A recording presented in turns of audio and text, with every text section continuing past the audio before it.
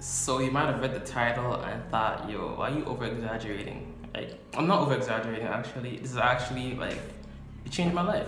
Not, no BS, no clickbait, it's actually changing my life. So this video is all about meditation and how it changed my life pretty much. You probably heard the term before at some point.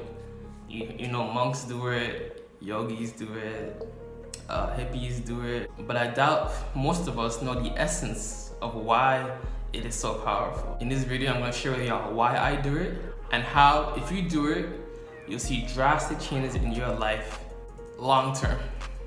All right, enjoy the video.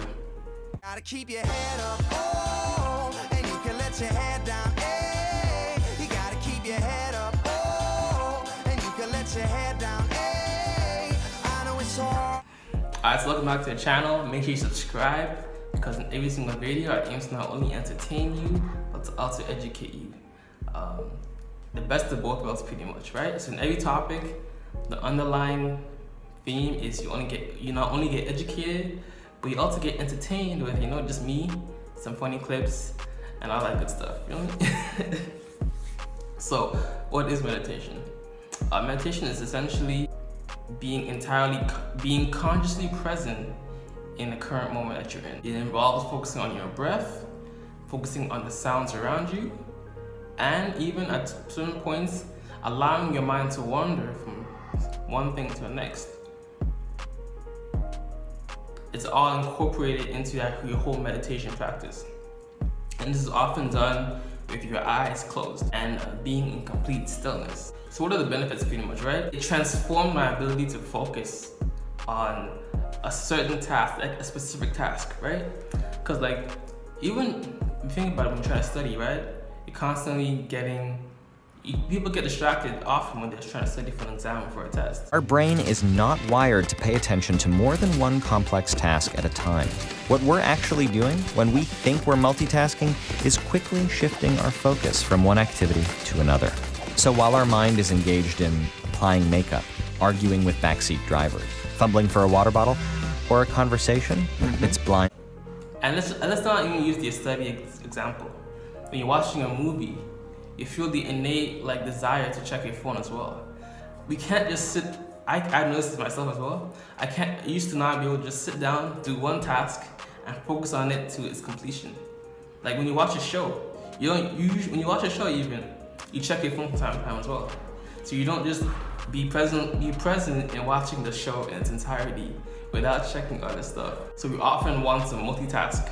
And this is what meditation prevents from doing because you're focusing on one thing for X amount of minutes, one minute, 10 minutes, whatever. You're focusing on one thing, doing this, and being present in that act pretty much. So we're even throughout the whole day, whole day, like we're constantly consumed with our thoughts. Rarely are we ever just still. We keep jittering from one thing to the next. Even to stand in line to get groceries, we can't just stand in line and just be, just enjoy the boredom. We have to check our phones. we have to listen to music, we have to do everything. Constant stimulation is what makes you addicted to your phone pretty much. If every time you feel bored, you dispel it by giving yourself some novel stimuli from your phone or computer screen, your brain starts to develop a Pavlovian connection. Boredom means stimuli. If you have that Pavlovian connection built up, when it comes time to do serious cognitive work, to do real deep work, that type of work is by definition boring because there's not a lot of novel stimuli. You're focused on one thing. If your brain has been taught, I always get stimuli when I'm bored, it's not going to tolerate deep work when the time comes. And so, what I advise people is not that you have to spend your entire life bored bored or that there's something good intrinsically in being bored. What I say is you have to have regular practice with being bored and just being okay being bored. If you do that a few times each day, what you're doing is you're breaking your brain's understanding that boredom always means stimuli. And so I say go do some errands without your phone. You know, I mean, do some stuff. Stand in line at the bank and be in line at the bank. Stand in line at the supermarket and just be in line and be a little bit bored. It's not going to kill you, but what you're getting is this bigger advantage of teaching your brain. Sometimes we get stimuli, sometimes we don't, and it keeps it comfortable with both growth. And that's what I noticed for myself. And that's why I had to find a different way and stumble upon meditation. It was initially introduced to me by um, Shawn Stevenson. He's the author of the Model Health Show. So it's all about health related stuff. And it's, it meditation was ex extremely important in adding it to my morning routine. There, this was from the Medical College of Georgia in Augusta, found that meditation lowered blood pressure and reduced the risk of heart disease and stroke. And numerous studies also demonstrate that meditation can reduce chronic pain and associated inflammatory biomarkers. You can, eat, you can it in the morning or evening pretty much, right? So not only are we consumed with our environment, but we're constantly dwelling on the past. That past exam, that past shorty that played you, used you, or that F-boy that used you for his own personal gain, wasn't really about you. You're constantly focused on past situations, and you're forgetting about that you're actually living in the present moment. Even when you're in, the lecture hall or, or your teacher, you're thinking about what to eat next, thinking about um, you know, that cute guy, cute girl. You're not focused necessarily, obviously once in a while, yeah, it's all good.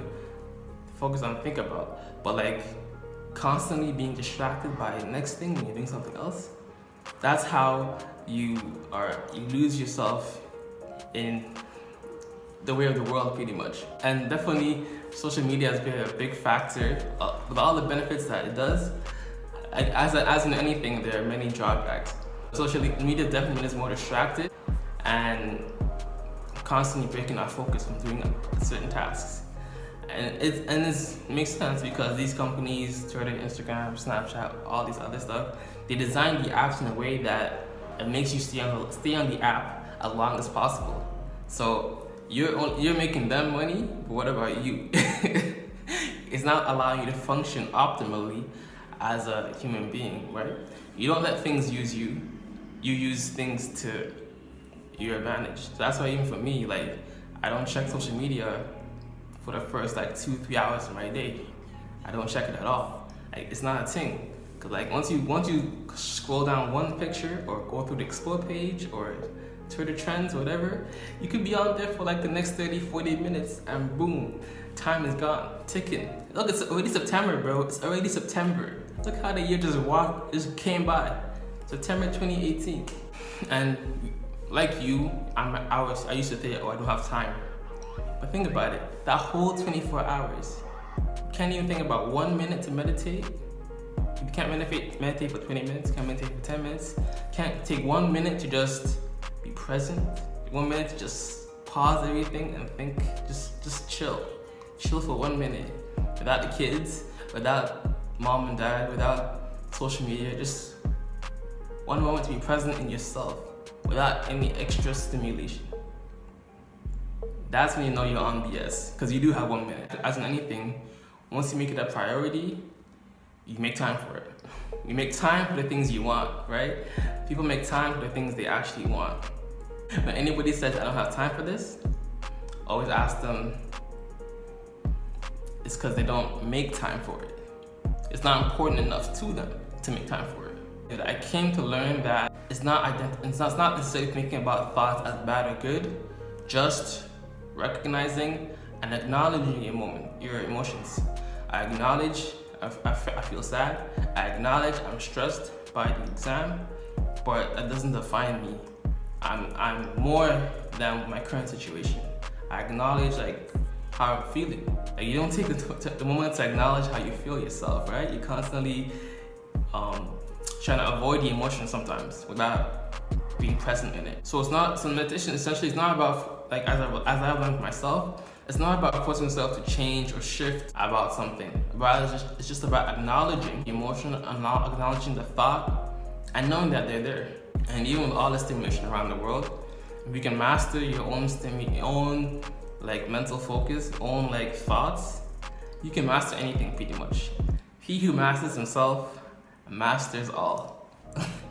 You're able to master your, your social media usage, able to master how much TV you, you use, able to master like your, your, yourself, you, you can master yourself, you can master anything that you put your mind to. I've definitely realized my focus to do certain things has increased exponentially, exponentially, exponentially, yeah, exponentially.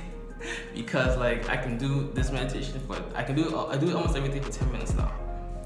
10 minutes in the morning, just focus for 10 minutes and like be present in my moment, be present in my surrounding. Another great book is The Power of Now by Robert Tolle. That's another phenomenal book. It just gives you that clarity. It just gives you that ability to focus on one thing and do that to its entirety. That's why I can study a lot better now to its entirety. That's why I can I can focus on my going, going to the gym without checking social media. And whenever, just like you just you may not be able to uh, to recognize it with me now, but I promise you will once you actually do it. So you can either meditate on your own, or you can use uh, a guided meditation. So what I usually use, I used to, I couldn't even. If you, so you have, if you have no basis for meditation whatsoever, I definitely recommend using a guided meditation app. The one I currently use is Bright Mind. Uh, you can either uh, it's, it's a free version and also a paid version. Free is always good, right? So there's a free version there, but like if you really want to go deeper into it, then there's the paid version. And it's like always, always like if, you, if paying going to college is coming out of your own pocket, it makes you want to actually attend class as opposed to using student loans, which is not your money, to pay for college. If, if paying for college or going to college is coming out of your own dime, you're working for it, and you, it's going to that, you'll be a lot less inclined to skip class or skip assignments or whatever. So just like that, whenever you do pay for stuff, it makes you more inclined, okay, I paid for it. Let me get let me get as much value and worth out of it that I possibly can because I paid for it out of my own pocket, out of my own money. So yeah, I'll leave the link to the Bright Mind app in the description down below you want to check that out. And just test out the free version first. So again, meditation allows you to consciously tap into yourself every single day and just get to know who you are pretty much and not being swayed by social media, being swayed and carried to and fro by people's opinions about you. I definitely feel I'm a lot happier. I'm a lot more patient with people and don't have like that uh, quick, quick, quick instant gratification type of mindset in my day-to-day -day life. I can I can chill if the bus, if the traffic is there, I can chill. If the cashier is taking a lot longer, I can chill. Like, I'm not rushing people or in that instant gratification type of mindset. And again, mental clarity is definitely there as well. But yeah, man, so I hope that was, hope y'all enjoyed the video. Uh, that it was a lot of information as to why, how it changed my life. Definitely check out the next video that I made about how to meditate for beginners at home in the comfort of your own home.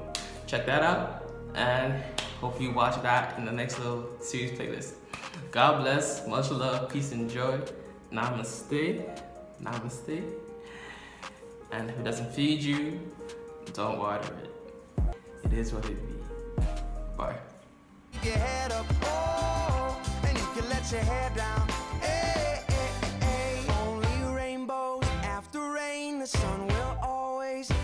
Again,